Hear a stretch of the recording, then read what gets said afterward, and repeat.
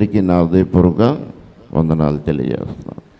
చూడండి కీర్తన గ్రంథము నూట ఎనిమిది పదమూడు వాక్యం తీసుకుందాం. చూడండి.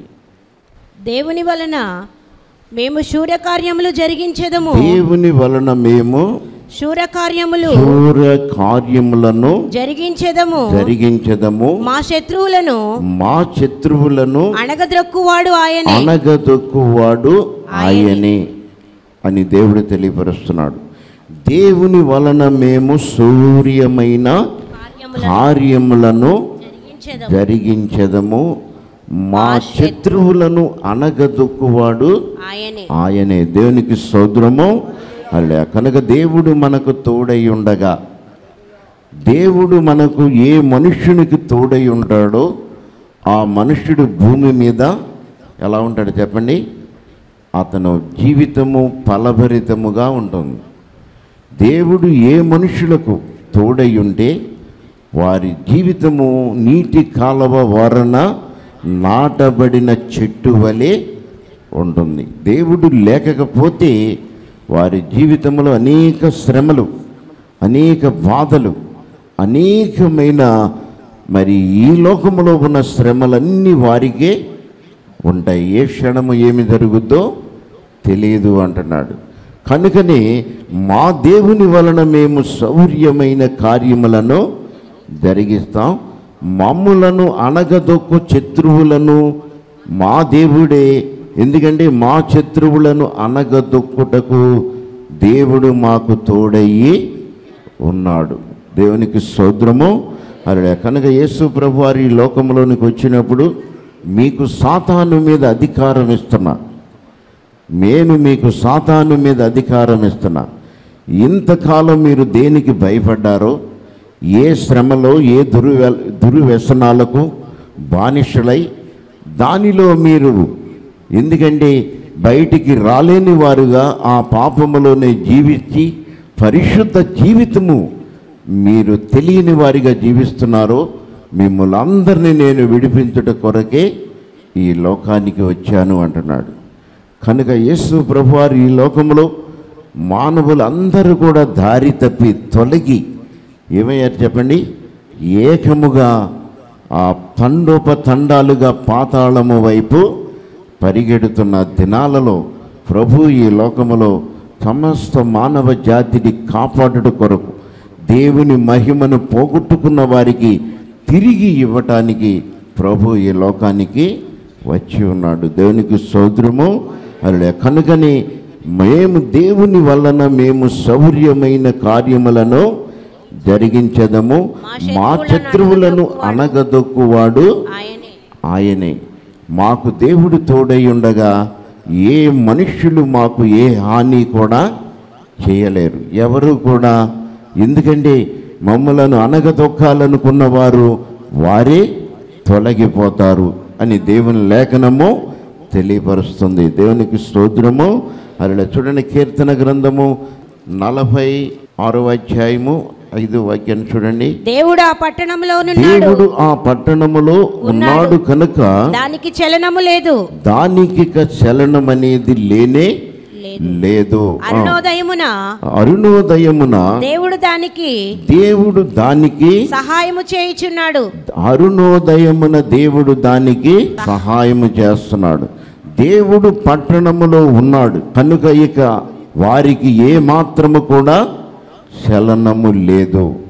దేవుడు ఏ మనుషులకు ఎవరి పక్షాన ఉంటాడో ఆయన దేవుని ఎందుకంటే దేవుడు ఆ పట్టణములో ఏ పట్టణములో ఏ గృహములో ఎక్కడ ఎవరు కావాలని విరిగి నలిగిన వారి యొద్ద దీన మనస్సు కలిగిన వారి యొద్ద నేను నివాసము చేస్తున్నాను అంటున్నాడు. దేవునికి సోదరము అలా దేవుడు ఈ లోకములో ఎవరి యొక్క ఉండటానికి వచ్చాడు చెప్పండి?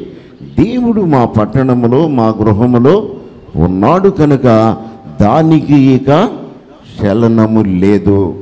ఎందుకంటే దేవుడు లేకపోతే మనం ఏ క్షణమైనా ఎప్పుడు ఏమవుతుందో మన పరిస్థితి తెలియదు. కనుకనే దేవుడు అంటున్నాడు దేవుడు పట్టణములో ఉన్నాడు కనుక దానికి ఇక చలనం అనేది లేదు. మరొకసారి చదవండి వాక్యాన్ని. దేవుడా? దేవుడు ఆ పట్టణంలోనున్నాడు.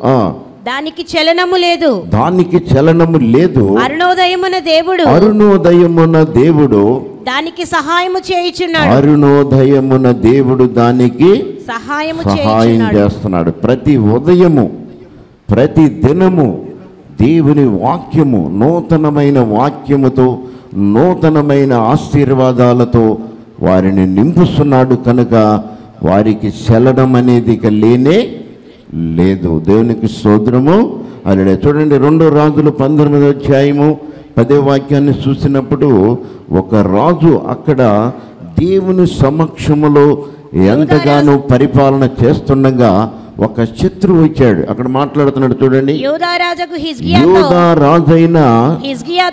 హిజ్కియాతో ఇలాగు చెప్పుడి. ఇలాగు చెప్పండి. ఎరుషలేము అషూరు రాజు చేతికి ఎరుషలేము ఆషూరు రాజు చేతికి అప్పగింపబడిదని చెప్పి అప్పగింపబడదని చెప్పి నీవు నమ్ముకొని ఉన్న నీవు నమ్ముకొని ఉన్న నీ దేవుని చేత మోసపోకుము.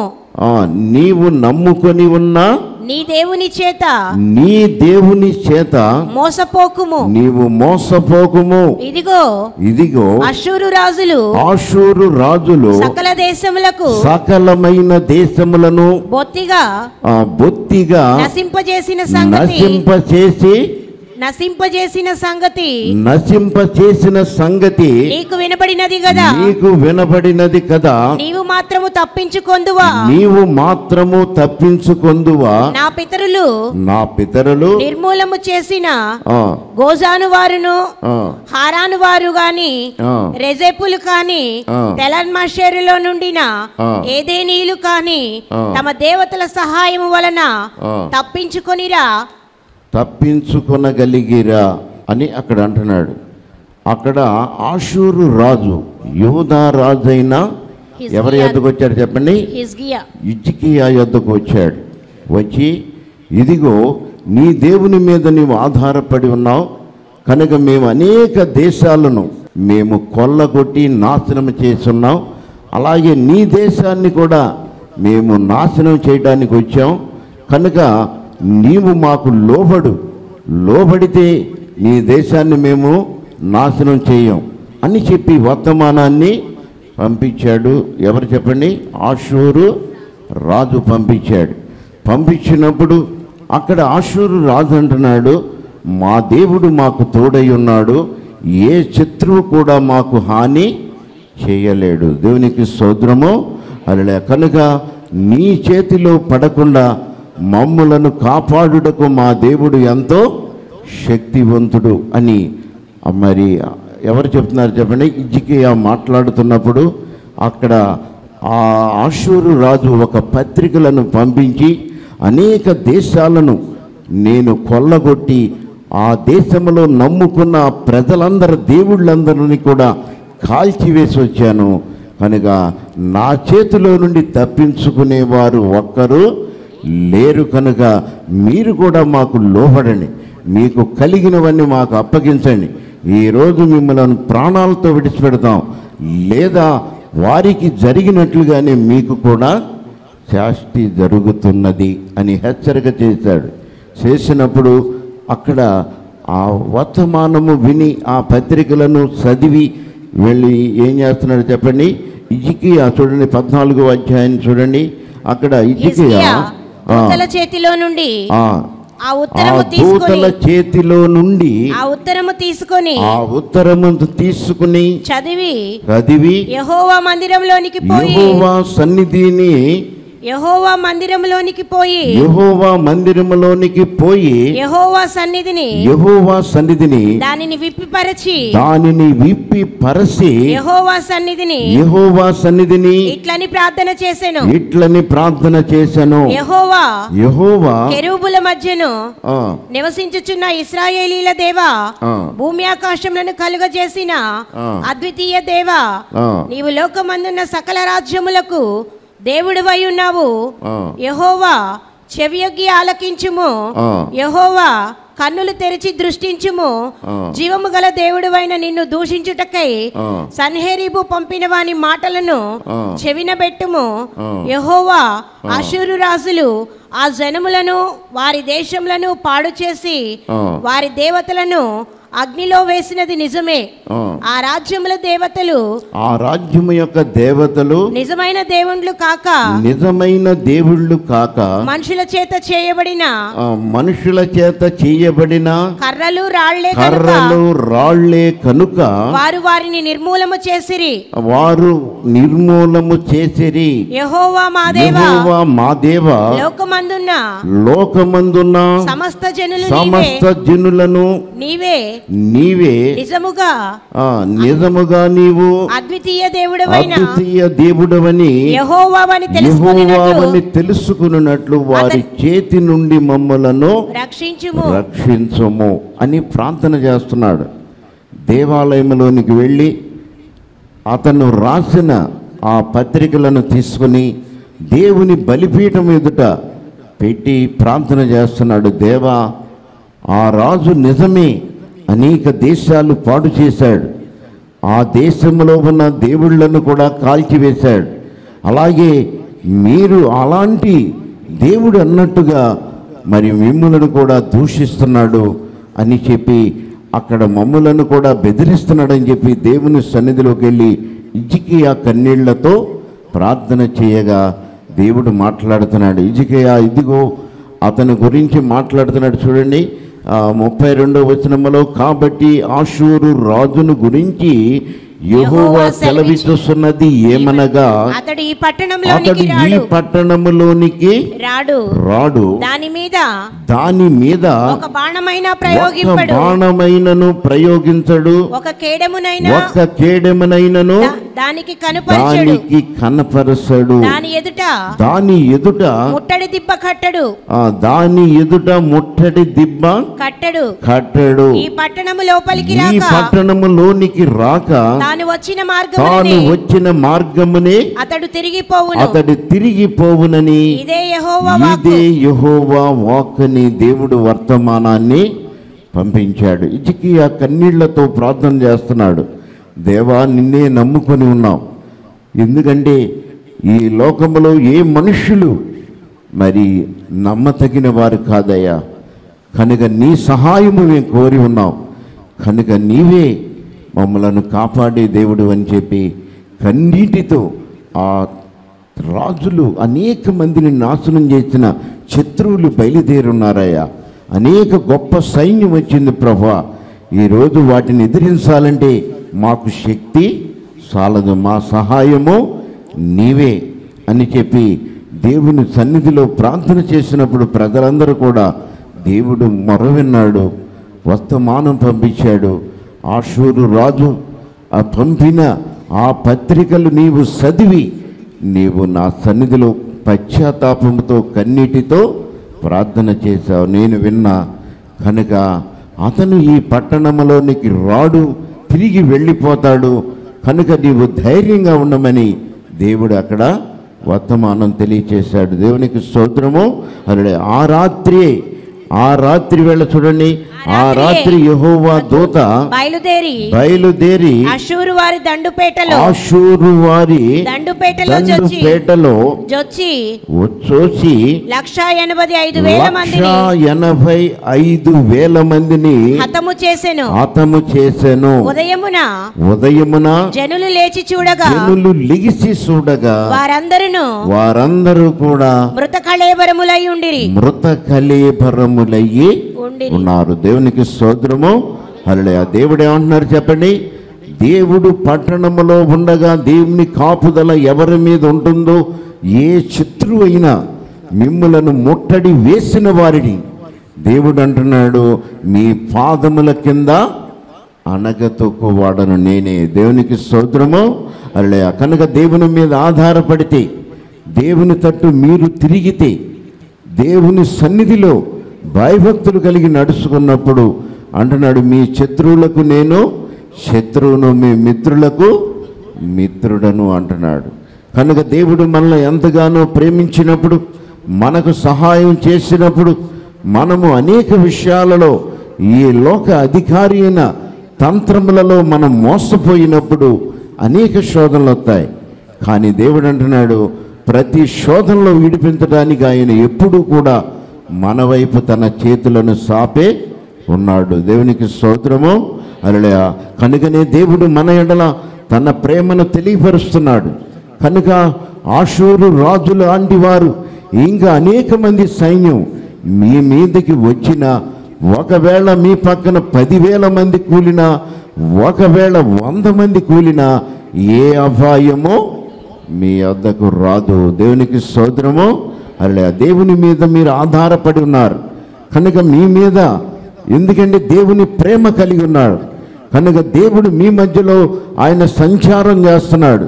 కనుక ఏ అపాయము మీ వద్దకు రాదు. ఏ శత్రువైనా ఒకవేళ మిమ్మలను దాడి చేసినా పగటి వేళైనా రాత్రి వేళైనా అలాగే ఏ క్షణములోనైనా మీకు తోడుగా ఉండుటకు తన దూతలను ఆయన కాపుదలగా ఉంచి ఉన్నాడు. దేవునికి సోదరము అలలయ ఒక్క దూత బయలుదేరి లక్ష ఎనభై ఐదు వేల మందిని హతము చేసిందంటే కోట్ల కొలది దూతలున్నారు.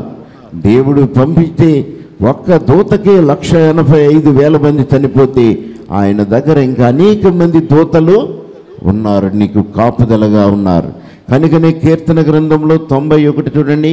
తొంభై ఒకటి అధ్యాయము పద్నాలుగో వాక్యాన్ని చూడండి.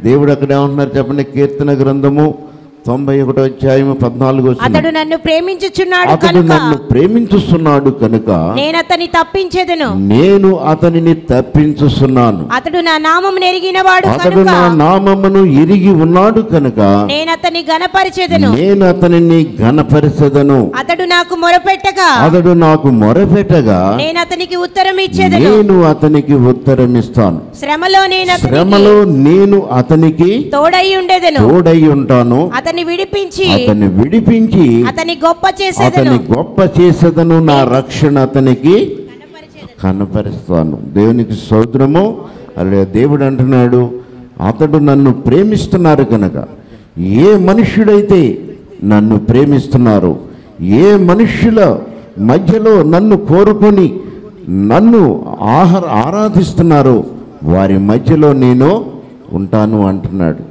కనుక దేవుని సన్నిధిలో మనం ఆయనను ఆరాధించినప్పుడు ఆయన సన్నిధిని నిత్యము వెతుకు వారికి ఏ కొదవు కూడా ఉండదు అంటున్నాడు. దేవుడు మా మధ్యలో ఉన్నాడు కనుక మాకు భయమేమీ లేదు అంటున్నాడు. మా శత్రువులను అనగతొక్కువాడు ఆయనే శౌర్యమైన కార్యములు చేస్తాం. దేవుడు పక్షాన దేవుడు సహాయముతో మేము గొప్ప కార్యములు చేయటానికి మా దేవుడు మాకు తోడుగా ఉన్నాడు. అని చెప్పి ఆశూరు రాజు యొక్క సైన్యాన్ని అక్కడ ఎవరు చెప్పండి? అక్కడ రాజు మరి ఎంతగానో కన్నీటితో ప్రార్థన చేయగా ఇజికియ దేవుడు తన యొక్క ప్రార్థన విని ఆ క్షణమే ఆ రాత్రి వేళ మరి దేవుడు దూత వచ్చి వాళ్ళందరి వేదన వాళ్ళందరి భయాన్ని తొలగించి వారికి రక్షణ ఆనందాన్ని కలగ చేశాడు దేవునికి స్తోత్రము. అరులయ దేవుడు మన ఎడల కూడా తన కార్యాన్ని చేస్తున్నాడు. అలాగే చూడండి అక్కడ రెండో రాజులు ఇరవై పంతొమ్మిదో అధ్యాయము ఇరవై తొమ్మిదో వాక్యం. మరియు యష్యా చెప్పినదేమనగా? మరియు యష్యా చెప్పుస్తున్నది ఏమనగా? హిజ్కియా ఇజికియా నీకిదే సూచన యగును నీకు ఇదే సూచన యగును సూచన అగును ఈ సంవత్సరమందు ఈ సంవత్సరమందు దానంతటా అదే. దానంతట అది. పండు ధాన్యమును. పండు ధాన్యమును. రెండవ సంవత్సరమందు. రెండో సంవత్సరమందు దాని నుండి కలుగు ధాన్యమును. దాని అంతటా కలుగు ధాన్యమును. కలుగు ధాన్యమును మీరు భుజింతురు. మీరు భుజించెదరు. మూడవ సంవత్సరమున మూడో సంవత్సరమున మీరు విత్తనము విత్తి. మీరు విత్తనము విత్తి చేలు కోయుదురు చేలు కోయుదురు. ద్రాక్ష తోటలు నాటి. ద్రాక్ష తోటలు నాటి వాటి ఫలము అనుభవించుదురు. ఫలములను మీరు అనుభవించుదురు. అనుభవించెదరు. దేవుడు అంటున్నాడు ఇదిగో శత్రువు ఏదైతే నీకు ఏ నష్టాన్ని కలగచేశాడో దేవుడు అంటున్నాడు ఇదిగో నేను భూమికి ఆజ్ఞ ఇస్తున్నాను భూమి ఏం చేస్తుంది చెప్పండి? పంట దానంతట అదే పండుస్తున్నదంట. ఇదిగో మొదటి సంవత్సరం రెండో సంవత్సరం మీకు నేను మీ దానంతట అదే పంటను మీకు పండే విధముగా నేను ఆశీర్వాదాలను ఇస్తున్నాను. దేవునికి సోదరము అలుడయ మూడో సంవత్సరమున మీరు విత్తనము విత్తుతారు మరలా మీరు కోసుకుంటారు. దేవునికి సోద్రము అలుడయ కనుక దేవుడు ఆకాశ పక్షులకు ఆహారం పెట్టిన దేవుడు ఈరోజు పొలములలో మనకు మనము విత్తనము విత్తితేనే పండుతున్న పంటను దేవుడు అంటున్నాడు ఇదిగో నేను నీకు నన్ను నా మీద ఆధారపడి శత్రువు ఎంత శోధించినా ఎంత భయపెట్టినా నీవు నా తట్టు తిరిగి ఉన్నావు కనుక నేను నీకు ఇవ్వనయ్యున్న ఆ శత్రువులను నీ పాదాల కింద అనగతొక్కి నీకు ఆహారాన్ని నీ ప్రజలందరికీ కూడా రెండు సంవత్సరాలు సరిపడ సమస్ ఆశీర్వాదాలను ఇస్తున్నాను అంటున్నాడు. దేవునికి స్తోత్రము. అలా రెండు సంవత్సరాలు పంట దానంతట అదే పండింది. వారికి ఎంతగానో సంతోషాన్ని కలగ చేశాడు. దేవునికి స్తోత్రము. అలా కనుక చూడండి ఎబ్రిలకు రాసిన పత్రిక పదమూడో అధ్యాయము ఐదో వాక్యాన్ని చూడండి. ఎబ్రిలకు రాసిన పత్రిక పదమూడో అధ్యాయం ఐదో అమ్మా.